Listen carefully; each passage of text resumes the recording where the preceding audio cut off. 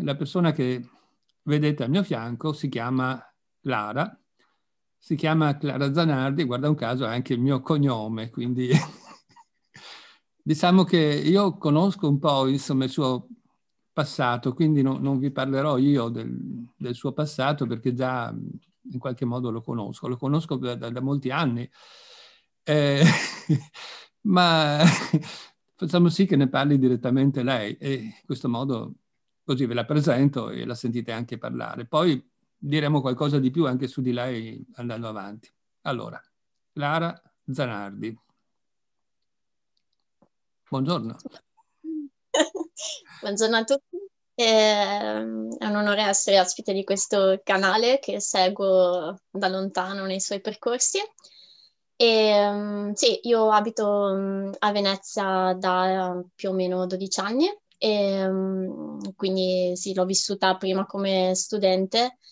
e poi ho provato a vivere anche in realtà metropolitane più, più grandi, ma ho deciso di tornare a Venezia e di vivere qui uh, per un legame che sentivo con la città e per, uh, per, una scelta di una forma di vita, diciamo, a dimensione umana, in una città che non fosse troppo grande, e quindi in una città di cui si percepissero i confini, che fosse in rapporto stretto con l'ambiente naturale, come Venezia, che è immersa in uno degli ecosistemi più um, più delicati e più, più, particolari d'Europa, che è la laguna di Venezia, e, um, e poi anche per la, diciamo, una, un benessere che si, che si prova qui all'interno del tipo di relazioni sociali che a Venezia si riescono a, a instaurare e che non ho trovato altrove, almeno nelle mie girovagazioni da millennials. Ecco, eh, ci vuoi dire anche un po' il tuo percorso di studio, insomma, che hai fatto, come... Sì, io sono laureata in uh, filosofia, in scienze filosofiche e ho studiato a Venezia, ho fatto un Erasmus di un anno a Berlino e um, dopodiché ho vinto una borsa di dottorato all'Università di Trieste, un dottorato in materie umanistiche, cioè storia delle società, delle istituzioni del pensiero. E ehm, il mio progetto di dottorato è stato appunto quello di analizzare eh, lo spopolamento di Venezia nel corso del Novecento, cioè come la città storica abbia perso eh, all'incirca i due terzi dei suoi residenti in pochi anni, in pochi decenni, e, um, ed è, si è trattato di un progetto, diciamo, particolare perché coniugava due discipline diverse, che sono la storia, l'analisi storica dei dati, dei numeri, dei processi, e l'analisi etnografica. E, ehm, infatti il mio percorso, diciamo, dalla filosofia si è sempre più spostato verso l'antropologia per un, diciamo, un bisogno di concretezza, di, di, analisi della società, anche della società che mi circondava e di, e di comprensione di meccanismi profondi con cui questa società funziona e si muove. E quindi ecco il mio dottorato, ho conseguito il dottorato all'inizio del 2020 e e dopodiché ho pubblicato questo libro che è l'esito della tesi di dottorato sostanzialmente rivista e rieditata a livello più comunicativo, più divulgativo. Non è il pu- primo libro che tu hai pubblicato, no? Hai pubblicato anche un altro saggio, no? Ho pubblicato un altro saggio nel 2011, per, sempre per Unicopli, e, um, che è un saggio un po' più complicato, eh, che appunto anche quello si muove tra filosofia e antropologia ed è dedicato a eh, Ernesto De Martino, che è stato un grande antropologo italiano e um, appunto conosciuto solitamente solo per essere antropologo, in realtà il mio lavoro puntava a dimostrare un po' a spiegare anche il suo pensiero filosofico, assimilandolo avvicinandolo a quello di Martin Heidegger, con cui De Martino era in comunicazione profonda. Quindi questo è stato il mio, il mio lavoro precedente. All'interno di questo percorso, insomma, di questo interesse anche per l'antropologia, oltre che per la, filosofia, oltre che per la filosofia, tu avevi anche fatto dei viaggi, mi pare uno anche in Africa, no? Sì, ho fatto, diciamo, prima di occuparmi di turismo in maniera critica e di mettere in qualche modo in discussione la mia mobilità personale, Um, ho viaggiato come, come, molte persone della mia età nel privilegiato occidente e um, ho fatto dei, sì, delle esperienze di, di volontariato, uh, quella in Africa ancora nel 2011, in Kenya, qui ho collaborato con un'associazione che si occupava di promozione dell'educazione sanitaria e della cultura infantile nelle baraccopoli di Nairobi e poi un progetto invece più rurale sulla piantumazione di papaya in un piccolo villaggio, insomma, del Kenya sempre. E beh, è stata un'esperienza molto, molto profonda. Poi ho studiato un po', diciamo, le lingue europee, quindi ho fatto vari soggiorni tra Parigi, Londra, Berlino, Berlino soprattutto dove ho vissuto un po' più di un anno. E, così. Ok. Quindi il tuo interesse poi ultimamente si è andato molto spostando su quelli che sono i fenomeni eh, collegati con il turismo, no? Eh,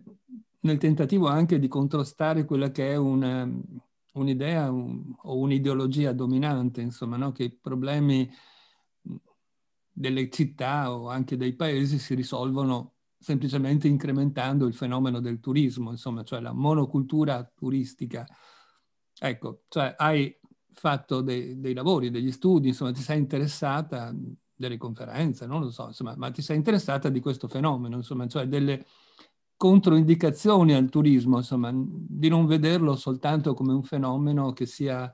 eh, la soluzione di tutti i mali del, del mondo o di alcuni paesi. È così? È così, diciamo che non avrei mai pensato nella vita di um, studiare o approfondire l'industria turistica, però appunto scegliendo Venezia come, come, mia città mi ci sono trovata letteralmente immersa e quindi ho deciso un po' di, di mm, prendere di petto le contraddizioni che vedevo, di prof- provare a capire da dove provenivano e, e cercare di creare degli strumenti con cui magari impostare il dibattito pubblico generale in maniera un po' diversa. Diciamo che oggi in Italia, ma non solo, il turismo è considerato già a partire dagli anni Ottanta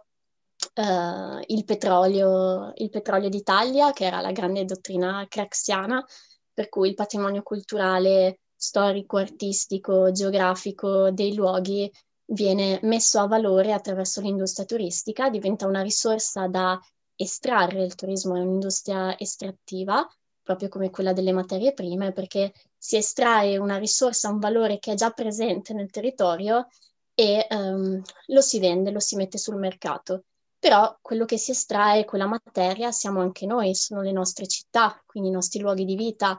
le nostre tradizioni, le nostre, gli aspetti della nostra cultura, la nostra enogastronomia, qualsiasi cosa diventa una merce. Chiaramente quando la nostra cultura e i nostri luoghi di vita diventano merci, um, il loro uso da parte nostra inevitabilmente cambia, perché molto spesso un uso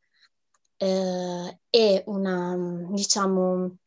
l'uso entra in diretta competizione con la mercificazione mh, delle cose, perché chi non può accedere al valore di mercato di questi beni ne viene escluso. E, quando invece appunto il valore, l'importanza, il ruolo delle città e dei luoghi, dei territori in generale è sempre stato quello di ospitare, eh, di dare ospitalità, di dare casa, di dare vita al, alle comunità, eh, comprese le persone che non hanno un potere economico tale da poter accedere a beni altrimenti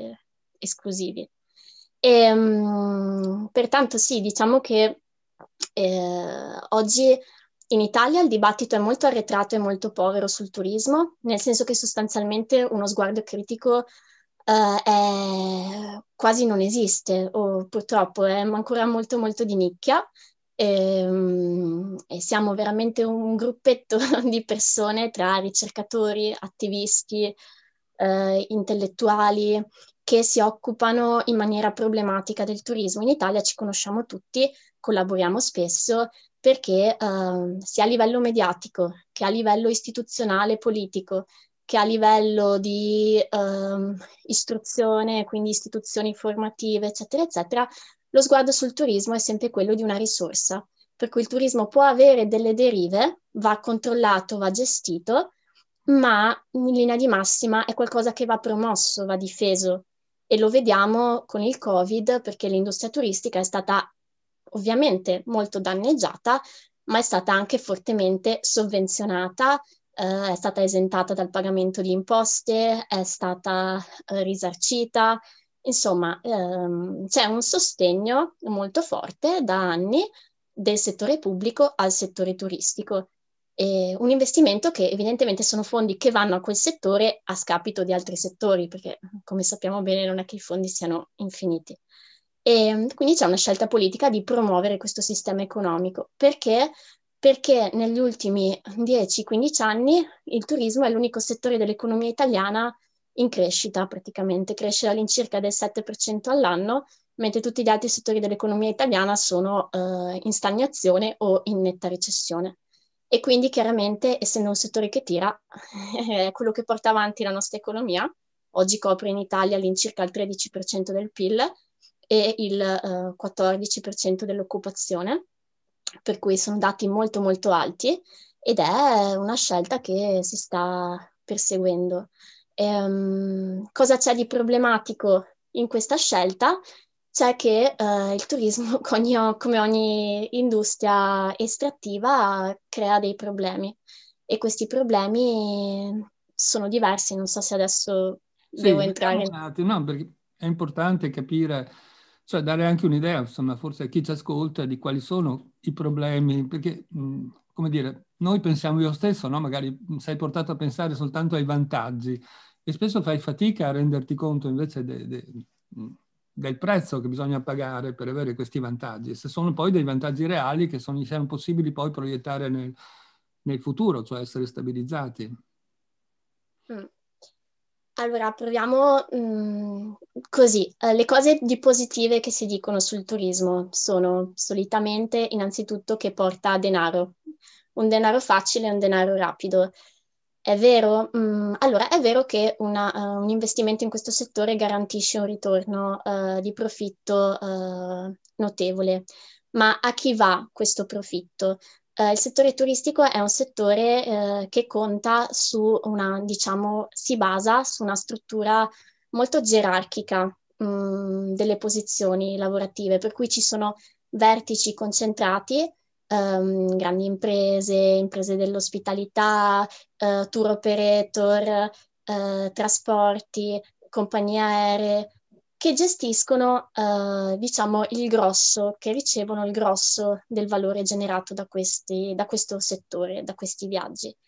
E, però poi um, il turismo si basa su, diciamo, un... Innanzitutto richiede um, forti investimenti pubblici uh, in termini di marketing promozionale dei luoghi, in termini di pensiamo solo al lavoro stagionale su cui si basa prevalentemente il turismo e sappiamo che i lavoratori stagionali hanno un contratto di una durata mediamente di sei mesi, gli altri sei mesi eh, questi lavoratori li paga lo Stato, li paghiamo noi sostanzialmente perché vivono eh, in disoccupazione fino alla stagione dopo. Quindi il turismo genera lavoro, altra grande retorica, ma che lavoro genera? um, abbiamo il dovere di chiedercelo perché il turismo è un settore a basso valore aggiunto. Cosa vuol dire? Che il lavoro che genera è un lavoro sottoqualificato,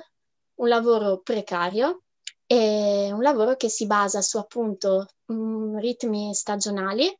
eh, che impiega manodopera che è considerata intercambiabile, quindi eh, sono situazioni in cui ci sono meno tutele sui licenziamenti, spesso le persone che lavorano lavorano in nero, il turismo è uno dei settori col più alto tasso di lavoro in nero e quindi sono persone che non hanno sussidi in caso di malattia o in caso di non hanno coperture assicurative e sono settori in cui uh, c'è un alto tasso di occupazione femminile, ma è un'occupazione, diciamo, uh, di lavori molto umili. Non so se un intero paese vuole veramente investire in un settore che prevede sostanzialmente lavori di tipo servile, e, um, assolutamente dignitosi, però chiaramente quando si sceglie come e dove allocare le risorse pubbliche per sviluppare un'economia, si spererebbe che il progetto fosse più, diciamo, ambizioso di quello di diventare quello che Lefebvre, Lefebvre negli anni 70 chiamava il loisir d'Europa, cioè questi paesi del sud Europa che trasformano Spagna, Grecia, Portogallo, Italia, che trasformano le loro economie in economie ricettive, cioè si fanno teatro dell'ospitalità e delle vacanze e del piacere delle invece popolazioni più ricche del centro e nord Europa. E questo è un processo che è cominciato già negli anni 70 e che oggi è ai massimi livelli. Ma eh, è una coincidenza che questi paesi siano i cosiddetti pigs, no? quelli che venivano definiti PIGS, quindi paesi che sono, hanno delle economie molto povere, pensiamo alla Grecia, al Portogallo, alla Spagna, noi stessi, siamo economie che si vanno impoverendo e che hanno investito tutto sul turismo. Che sia una coincidenza questa, non direi proprio, e lo si vede nelle, nei piccoli casi, penso alla Spagna, le regioni più turistiche della Spagna le Bale- come le Baleari, per esempio, sono tra le regioni più povere della Spagna, con tassi di um, disoccupazione più alti rispetto al resto della Spagna, con tassi di povertà molto, molto più alti rispetto alla media nazionale. Quindi l'economia turistica non genera ricchezza, o sì, la genera, ma per i pochi che possono accentrare i redditi e agli altri lasciano sostanzialmente gli scarti di un'economia assolutamente precaria che è un'economia fragile, eh, perché tutti hanno sempre pensato a Venezia, come in altri luoghi turistici, che il turismo, eh, poiché cresce mediamente di un 7-10% all'anno dagli anni 50, quindi le curve di crescita del turismo sono enormi e continue, tutti hanno sempre pensato che è un settore sicurissimo, che diciamo non avrebbe potuto conoscere crisi e che anzi si sarebbe ampliato con l'aggiunta delle classi medie cinesi, indiane, dei paesi in via di sviluppo che acquisivano la possibilità di viaggiare. E in realtà però abbiamo visto che basta una crisi sanitaria, bastano problemi di tipo ambientale, pensate allo tsunami che ha investito il sud-est asiatico e ha bloccato i flussi turistici per almeno un paio d'anni, ha fatto collassare intere economie, sono economie fragili che dipendono da condizioni storiche, ambientali e sanitarie che non sono per niente scontate e questo l'abbiamo sperimentato tutti, lo stiamo vivendo ancora oggi. Ok, allora diciamo qui un po' si può inserire anche il, il libro che hai scritto, no? E quest'ultima cosa che è uscita anche da poco, insomma, no? E che io ho letto, insomma non, non l'ho posseduto fisicamente, ma ho avuto la possibilità di leggerlo almeno in PDF e che a me è piaciuto molto, insomma, anche perché è un libro molto documentato, insomma, no? cioè, vedo che ci sono pagine e pagine di, di, bibliografia, insomma, e quindi tutti i libri che hanno una sostanziosa bibliografia vuol dire che sono cose studiate, pensate e, e documentate, insomma, che non, non è poco. Ma oltre a questo, insomma, no, c'è stata anche una testimonianza di un veneziano doc, insomma, no? eh, che ha vissuto a Venezia per tanti anni e che, insomma, si è riconosciuto perfettamente nell'immagine che tu hai dato della Venezia, quella più, più tradizionale, più storica, insomma, quella prima della trasformazione che è avvenuta con, con questa esplosione del, del turismo e quindi con i cambiamenti che si sono verificati. Bene, ci vuoi introdurre un pochino per capire un po' questo, questo libro, lo spirito con cui l'hai scritto e anche le conclusioni con cui sei arrivata? Ok, allora lo spirito con cui l'ho scritto ehm, era diciamo quello di... Ehm... Allora, sostanzialmente mia, il mio lavoro doveva essere una ricerca su, appunto, sul turismo e in particolare sulla turistificazione cosiddetta di Venezia, cioè su come Venezia um, è diventata una destinazione turistica e come mai um, diciamo, è considerata l'esempio peggiore del mondo sostanzialmente per mancata gestione dell'industria turistica. E volevo partire da qui e volevo um, indagare come i veneziani, quei pochi rimasti, parliamo ormai di poco più di 51.000 persone che abitano nel, nel Pesciolino, cioè nella città d'acqua, eh, di come vivessero questi, questi, animali rari ormai in via d'estinzione, tra cui mi, tra cui mi conto. E, però appunto cominciando la ricerca mi sono accorta che, eh, che dovevo andare più indietro, cioè che soffermarmi sull'attualità, sul presente, eh, era importante mh, mm, perché? Perché di fatto i veneziani li vedete sempre nelle interviste um, dei giornali, dei documentari, però raramente eh, gli viene data la possibilità di mh, mm, interpretare in profondità quello che hanno vissuto eh, in questi anni, che è un profondo cambiamento del loro luogo e anche un profondo cambiamento delle loro relazioni sociali, relazioni eh, amicali o anche solo familiari. E, ehm, e al che, um, diciamo, mi sono interrogata sullo spopolamento della città, cioè sul perché questa comunità sia oggi così ridotta, così esigua. E, um, e ho cercato del materiale per, uh, per, comprendere meglio questo fenomeno e mi sono accorta con enorme stupore che di fatto,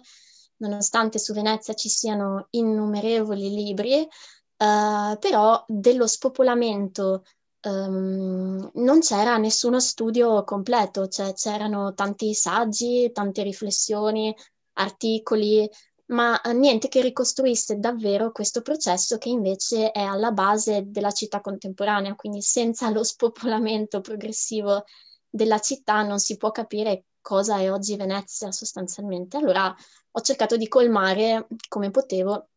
questo, questo gap e per cui nel mio libro ci sono questi due piani paralleli, c'è questa analisi storica appunto sullo spopolamento, sulle sue origini lontane nel tempo e sulle sue varie fasi, e poi c'è invece il contemporaneo, cioè l'esito di questo spopolamento e come oggi si vive in una città sostanzialmente svuotata. Ecco, ma Adesso però ci dice anche qualcosa, insomma, del... Intanto come si intitola questo libro, che non l'hai ancora detto, insomma, facciamo vedere almeno la copertina. Allora, Ma... ehm, si intitola La bonifica umana, Venezia dall'esodo al turismo, e in copertina ci sono, ho scelto come foto una foto di, una, di un grande fotografo veneziano e, che è insomma poco conosciuto, che si chiama Sergio Del Pero e rappresenta i volti dei bambini figli degli, degli appunto immigrati dalla città storica verso la terraferma tra gli anni 60 e 70. E il titolo, è, eh. il titolo è La bonifica umana, che è una scelta un po' forte per un titolo di saggistica, ma eh, è una citazione, in realtà testuale, viene da delle parole che pronunciò nel 1935 eh, in Consiglio Comunale Vittorio Cini, che è stato uno dei grandi protagonisti della vita politica veneziana del Novecento, eh, insomma, che rimane nella memoria, molto conosciuto nella memoria anche contemporanea, e lui appunto diceva che ehm, per risolvere il problema, eh, di, i problemi di Venezia era necessario, questo già negli anni 30, ehm, creare una eh, emigrazione della popolazione dalla città storica,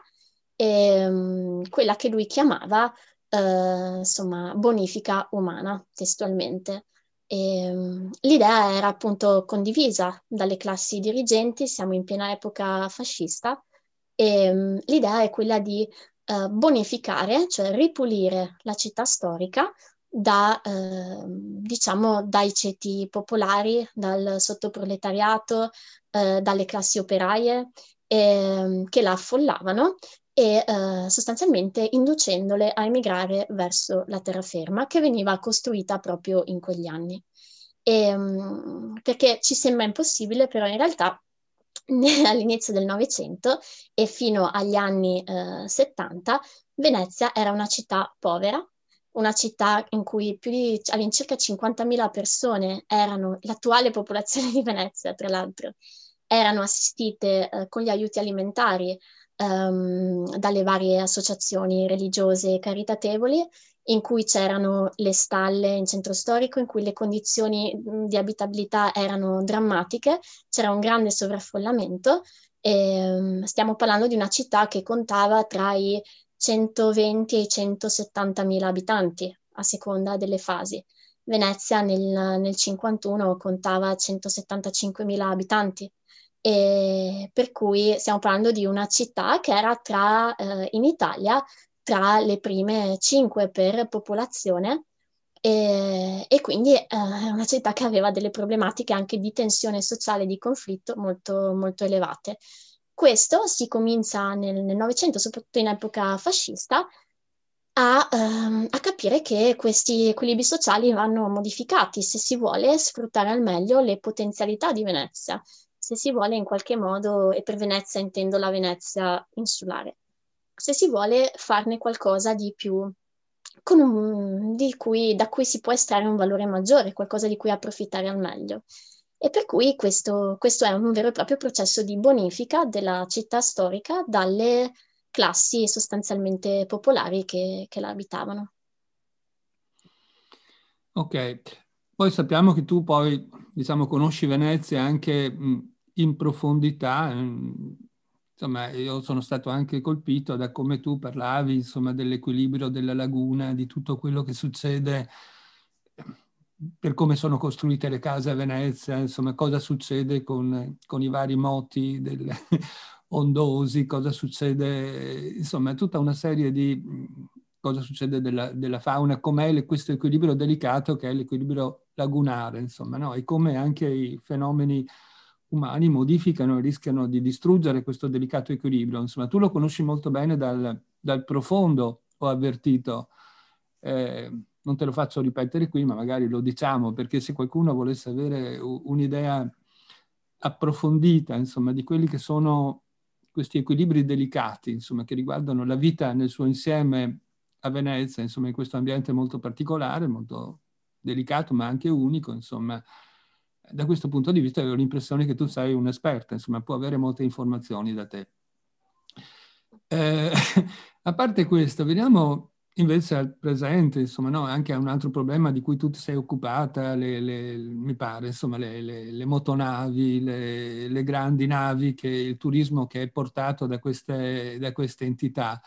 Eh, questa domanda mi viene anche perché, mh, così, ho sentito recentemente mh, telegiornali, insomma, che c'era una, uno sciopero in atto, o perlomeno un movimento che riguardava credo qualcosa come 1400 operai, lavoratori, che lavorano nel settore delle grandi navi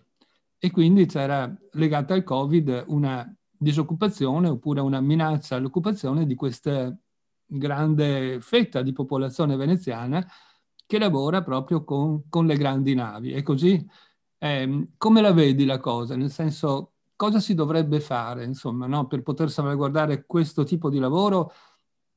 e, eppure è un lavoro che va, che va, salvaguardato ad ogni costo o che insomma in qualche modo dovrebbe essere, non dico sacrificato, ma bisogna pur fare delle scelte, insomma, no? E quindi spostare questi lavoratori in un altro settore, insomma. Eh, come la vedi, no? Allora, è ovviamente un discorso complesso. Mm, diciamo che eh, le grandi navi ehm, risentono di tutte le contraddizioni dell'industria turistica, cioè sostanzialmente eh, dipendiamo e viviamo grazie a un'industria che eh, di fatto minaccia eh, le nostre stesse condizioni di esistenza, nel senso che mette a rischio eh, la nostra salute e nostro, la, la, tutela fisica del nostro luogo di vita. E questo è particolarmente evidente con le grandi navi, a cui si deve una responsabilità dell'elevatissimo tasso di inquinamento, soprattutto di PM, insomma di nanoparticolati, di PM10 che c'è a Venezia. E, nonostante Venezia non abbia le automobili, però è una delle città più inquinate d'Italia ehm, che è controintuitivo, ma è certamente legato alla presenza di questi mostri che eh, stazionano eh, con i motori accesi per garantire tutto l'apparato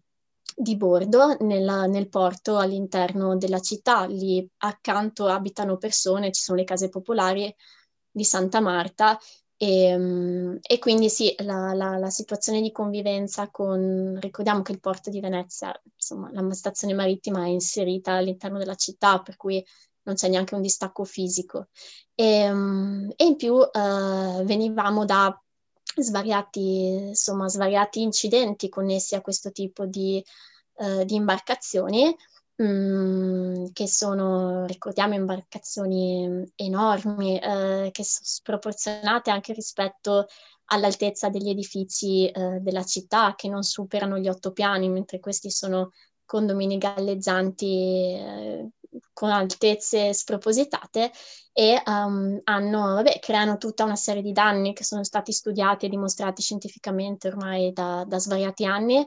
um, sul fondo lagunare, sull'idrodinamica lagunare, sulle fondamenta e l'anno scorso abbiamo avuto un incidente molto grave per cui Uh, una di queste navi si è schiantata uh, contro um, la fondamenta, contro l'equivalente di una strada veneziana e uh, si è rischiata una catastrofe che è stata sfiorata per, per un pelo. E quindi sono, mh, mm, sono, navi che sono assolutamente incompatibili con un fondale basso e una, diciamo, delicatezza strutturale, fisica della città che attraversano. E, um, il problema a livello diciamo, dopo il naufragio nel 2012 della Costa Concordia, che ha un po' sollevato in Italia l'isola del Giglio, eh, che ha un po' sollevato in Italia il dibattito critico sulle grandi navi, e mm, diciamo si è creato un polverone mediatico per cui eh, le grandi navi si chiedeva che venissero escluse dalla, uh, dal transito davanti al bacino di San Marco e uh, che quindi insomma nel canale della Giudecca che per i non veneziani mh, mm, costeggia luoghi vissuti e centralissimi della città di Venezia. E si chiedeva sostanzialmente un percorso alternativo e ci sono state varie ipotesi, insomma è dal 2012 che si va avanti in una situazione mh, mm, provvisoria che ha del definitivo e non si trova sostanzialmente una soluzione a questo problema. Si vuole salvaguardare questa economia a tutti i costi, ma um, Cosa, allora, cosa penso io? Io penso, io sono per l'opzione zero, senza, senza dubbio. Cioè, um, non credo nell'ipotesi uh, di un porto offshore, cioè di un porto fuori dalla laguna, che porti i croceristi dentro la città con altre navi, generando moto ondoso, traffico, altro inquinamento, e, e non sono per un, per un, percorso alternativo all'interno della laguna che richiede scavi, che intralcia il traffico commerciale, che mh, mm, porta all'inquinamento all'interno della città. Um, penso che uh, insomma l'industria si debba adeguare alla realtà fisica del luogo. Venezia non è in grado di ospitare questo tipo di strutture fisiche e non è in grado di ospitare la massa di turisti che queste navi generano, cioè le grandi navi hanno anche un impatto antropico oltre che tutti gli altri impatti che hanno, ovvero portano migliaia di turisti contemporaneamente negli stessi giorni, nelle stesse ore, nelle stesse parti della città. È un'industria, è una fabbrica, quindi è un turismo di bassissimo livello, un turismo mh, mm, che sta in città mediamente una mezza giornata e che lavora solamente, fanno magari alcuni un giro in gondola, tutti in carovana, in gruppi, visitano gli stessi tre posti, risalgono sulle navi. Il loro centro è la nave, non è la città che visitano, la città è uno sfondo che attraversano sostanzialmente. Quindi stiamo parlando di una realtà a Venezia fragile che ha problemi a limitare il turismo di massa, che sta cercando soluzioni, almeno a livello retorico, in realtà poi l'amministrazione vuole incrementare il turismo, questo è molto chiaro, però eh, sta cercando ipoteticamente delle soluzioni al turismo di massa e continua a far venire il crocerismo, che è uno dei settori più deleteri, che ha degli impatti più, più devastanti sui territori che attraversa, e quindi lo trovo assolutamente insensato. Credo che ci siano tutte le ragioni del mondo perché la croceristica sia esclusa da Venezia. Si fa il nome di Trieste, devo dire, mi dispiace molto per Trieste, non sono tra i veneziani che gode perché questo flagello viene trasferito sulle spalle altrui, credo che anzi come veneziani dovremmo dare seriamente una mano a Trieste, che è ancora una città dove gli affitti sono accessibili e che ha una vita vissuta popolare all'interno,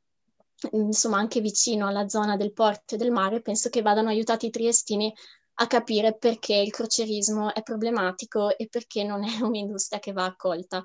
E, um, per quanto riguarda la manifestazione, chiaramente ehm, diciamo intanto calcolare il numero degli occupati diretti o indiretti esclusivi del crocerismo è sempre complicato perché ehm, diciamo non è detto che le aziende che forniscono le grandi navi operino esclusivamente per le grandi navi, alcune probabilmente come quelle che producono derrate alimentari o altri servizi sopravviverebbero anche con, altre, eh, con altri tipi di, di, di clientela, quindi non è detto che siano lavori esclusivi A protestare sono state le categorie direttamente interessate. Stiamo parlando di 1400 persone. Ok, a Venezia ci sono all'incirca 50.000 posti di lavoro. Chiaramente non possiamo per 1400 persone mettere a rischio tutta la sopravvivenza stessa della città, la salute dei suoi cittadini e la dignità della sua economia. Per cui credo che sinceramente sia un bilancio che, che va fatto. Chiaramente, sinceramente, nella manifestazione che è stata fatta, eh, oltre ai sindaci, che, ai candidati sindaci, sia quello del PD che era presente che quello l'attuale che ha vinto Brugnaro, quindi su, sul sostegno al crocerismo, al di là della retorica c'era abbastanza trasversalità tra i partiti politici e erano presenti persone diciamo che non sono disagiate, c'erano gondolieri, c'erano tassisti, c'erano i titolari dei lancioni che sono queste navi che trasportano 300 turisti al colpo facendo delle onde mostruose devastando la laguna. Qui stiamo parlando di categorie con redditi elevatissimi che non hanno certo problemi di sussistenza nel caso che venga a mancare il crocerismo. E penso che bisogna scegliere, fare delle scelte politiche molto forti e ehm, nel caso di Venezia mi pare sia evidente che il crocerismo non è compatibile con la città. Si può portare nel porto, si possono portare per esempio le barche a vela, perché c'è un settore velistico anche della vela del lusso, ma non solo, eh, molto, molto sviluppato nel mondo, si potrebbe creare un polo nautico di un altro tipo con imbarcazioni assolutamente compatibili con la laguna, generando economia e mantenendo posti di lavoro, magari anche posti di lavoro più decenti, non a chiamata come sono quelli delle hostess delle grandi navi del, eh, e di tutte le cooperative che lavorano con tempi, contratti a tempo determinato, rinnovabili di anno in anno, con contratti assolutamente precari e quindi non è anche neanche un tipo di lavoro che va salvaguardato, insomma, il discorso è sempre lo stesso. Mm, stiamo mettendo a rischio le cose, le nostre risorse reali e non riproducibili per generare lavori precari che generano profitti enormi per pochi. Perché ricordo che il porto di Venezia, la gestione, è stata privatizzata ed è al momento posseduta da, dalle compagnie croceristiche stesse, cioè le crociere per stare a Venezia pagano dei soldi e pagano se stesse sostanzialmente, quindi la città non ha nessun, il porto di Venezia non ha nessun utile dalla presenza delle grandi navi. L'utile del porto ritorna alle grandi navi, è un loop, un circolo vizioso mostruoso, per cui veramente la città ci perde e basta. Ok. Va bene, insomma, mi pare che possiamo avvicinarsi anche alla conclusione di questo incontro, magari con il proposito di farne un'altra, perché di fare un altro incontro con te, insomma, nel senso che sei una miniera, no? Eh, cioè, sulle grandi navi sarebbe da fare, cioè, è un tema talmente grande che non, inevitabilmente bisogna stringere eh, banali. No, voglio dire, poi l'ultima cosa, insomma, no, eh, il discorso della crisi che in questo momento ci sta investendo, no? causa Covid, ma poteva essere anche qualcos'altro, insomma, comunque è una crisi che è scoppiata e che ci porta a pensare di ripartire, ma diciamo dobbiamo pensare che non possiamo ripartire nello stesso modo con cui eravamo presenti prima, insomma, no? Cioè non possiamo eh, riprendere esattamente la stessa economia alla quale eravamo abituati, perché sappiamo che non ci porta da nessuna parte, insomma ci porta semmai a, dire, a una distruzione del pianeta e quindi ad, un, ad un'autodistruzione. Rispetto a questo, insomma, cioè la crisi però è sempre un'occasione di cambiamento, di tra- trasformazione. Ci sono delle cose che una crisi salva e che valorizza e delle cose che un, e invece delle altre attività o delle altre cose che una crisi invece dovrebbe in qualche modo sacrificare, insomma, perché non funzionano più nel, nel tempo attuale. Insomma. Allora, come la crisi attuale dovrebbe, diciamo, intervenire nel, nel settore turistico? Mi spiego meglio. Cioè, cosa bisogna fare di quelle attività che in qualche modo non, non funzionano più? Eh, bisogna continuare a sovvenzionarle, oppure essendo per lo più delle attività private, e quindi eh, come dire, il privato sa che si mette a rischio quando intraprende, no? E quindi non sarebbe giusto che, come quando tu apri un negozio e questo negozio non funziona per vari motivi, al di là del Covid, insomma, lo chiudi e ci rimetti quello che hai investito perché hai sbagliato investimento, così quando in realtà anche delle attività in qualche modo si trovano a non essere più competitive, si trovano a non avere più clienti, è giusto che chiudano e che in qualche modo il, l'investimento che è stato fatto non ricada sulle spalle di tutti, come non ricade sulle spalle di tutti se io apro un, un negozio e questo negozio a un certo punto non funziona più, ci rimetto io l'investimento, c'è poco da fare, insomma, no? Nelle attività, cioè se si vuole una liberalizzazione, insomma, de, delle cose, se si vuole che... Allora, penso che non sia giusto che lo Stato, o perlomeno io non lo trovo giusto, insomma, che lo Stato debba intervenire eh, eh, nei confronti del privato quando il privato non, non, funziona, che invece il privato si voglia godere tutti i profitti quando le cose gli vanno bene, insomma, e non voglia lo Stato in quell'occasione. Tu cosa ne pensi? Eh, sono molto d'accordo, ma eh, di fatto è la contraddizione del libero mercato, cioè il libero mercato viene ehm, sostanzialmente difeso eh, quando entra in collisione con diritti fondamentali, sociali e umani e dicendo che il libero mercato è sacro e che la concorrenza è l'unico criterio di selezione possibile, però poi nella realtà il libero mercato non esiste, cioè il libero mercato è frutto, il, la nostra economia, le nostre economie sono frutto di sussidi, pensiamo ai sussidi europei, all'agricoltura, parliamo di centinaia di, di miliardi di euro ogni anno che vengono dati uh, per sostenere settori piuttosto che altri. Chiaramente mh, si ripudia a livello retorico l'intervento del settore pubblico dei governi nella eh, diciamo, gestione, nell'indirizzo dell'economia, però di fatto gli utili privati sono molto spesso frutto di investimenti, condizioni legislative o fiscali favorevoli che vengono approvate dai governi, quindi diciamo sostanzialmente adesso quello che è successo è proprio questo, se um, il turismo è sempre stato favorito perché il mercato, perché garantiva più redditi rispetto, più profitti rispetto alle altre forme economiche, quindi era più concorrenziale. E um, adesso però è il momento in cui il turismo, l'industria turistica dovrebbe ridimensionarsi proprio perché è cresciuta ipertroficamente, è una bolla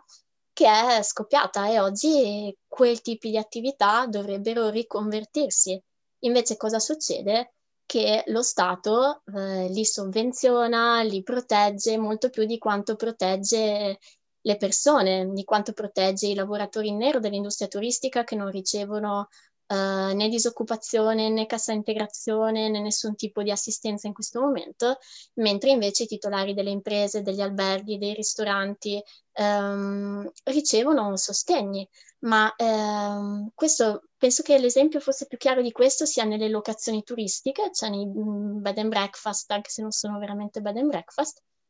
che a Venezia hanno spopolato Uh, e uh, praticamente loro hanno avuto la possibilità adesso di non pagare gli affitti durante i mesi in cui uh, hanno dovuto chiudere a causa Covid. E, um, sostanzialmente quelli però erano appartamenti che sarebbero potuti tornare sul mercato, magari a prezzi più bassi, eh, e quindi avrebbero potuto tornare ad essere accessibili a fasce di popolazione che non possono più permettersi l'affitto in città proprio perché la, conf- la concorrenza delle locazioni turistiche è assolutamente fuori portata. E invece lo Stato cosa fa? Lo Stato continua ad aiutare e proteggere questi settori e queste economie e chiaramente così facendo blocca uh, le alternative, impedisce che le alternative possano germogliare, possano svilupparsi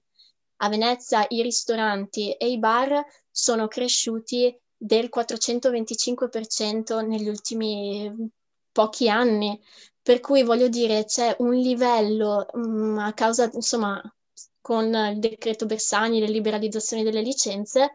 ciascuno, ogni negozio che chiude, ogni vecchio negozio di vicinato, di abbigliamento, di servizi che chiude diventa un bar o un ristorante. Così è stato negli ultimi dieci anni chiaramente um, con 50.000 residenti migliaia di bar non hanno nessun senso. Eh, hanno senso se ci sono 30 milioni di visitatori all'anno che consumano, eccetera, eccetera. Ma chiaramente non sono sostenibili né utili per il tessuto urbano della città e ad oggi stanno sopravvivendo durante il Covid solamente i negozi e le attività basate sui residenti. e quindi sostanzialmente sarebbe veramente il momento in cui altre forme di economia potrebbero aprire, altre forme di economia che finora sono state schiacciate. Lo Stato, invece di aiutare queste nuove forme di economia, ad esempio ipotizzando dei sussidi, dei finanziamenti per chi converte la propria attività da bar a negozio di vicinato, da negozio di souvenir a negozio di, che ne so, qualsiasi altra cosa minimamente utile alla vita su questo pianeta, ovviamente l'economia e il tessuto commerciale di servizi della città potrebbe riattivarsi. Invece lo Stato cosa fa? Niente, mm, sostanzialmente incentiva la monocultura, la protegge, aspetta che passino le difficoltà, come gli impianti sciistici. Stesso discorso, il grande tormentone sugli impianti sciistici chiaramente sarebbe l'opportunità per destinare quei fondi che vengono dati agli impianti sciistici per, per, mantenersi aperti nonostante non nevichi più da nessuna parte e lo Stato spenda milioni di euro di sovvenzionamenti pubblici per innevare con l'acqua artificiale, con un consumo di acqua mostruoso nelle montagne in cui fa troppo caldo e non si, non si può più sciare, ma per tutto questo sostanzialmente si destinano fondi che invece potrebbero essere dati ai gestori degli impianti perché convertano, convertano quel tipo di economia industriale massiva che produce danni sui territori in altre forme economiche. Sono scelte, ma abbiamo una classe politica assolutamente cieca e, e per niente lungi, lungimirante, purtroppo. Ritornando solo un attimo al tuo libro, cioè per quanto tempo, cioè in che percentuale l'industria del bed and breakfast eh, è presente rispetto alla, all'industria, cioè rispetto alla residen- alle residenze private, insomma, alle residenze della gente? Cioè quanto incide in percentuale, quanto incidono i bed and breakfast in percentuale a, a Venezia? Quanto... Allora, diciamo che uh, Venezia ha al momento, uh, diciamo, in tutto il, il, la città storica ci sono 59, 49.000 posti letto e 51.000 residenti, per capirci. Quindi il rapporto è di uno a uno, cioè c'è un posto letto per ogni residente, che è una percentuale fuori da ogni insomma, immaginazione, nel senso è una percentuale assolutamente spropositata. Ecco, e la capacità... Per dare un dato, insomma, perché...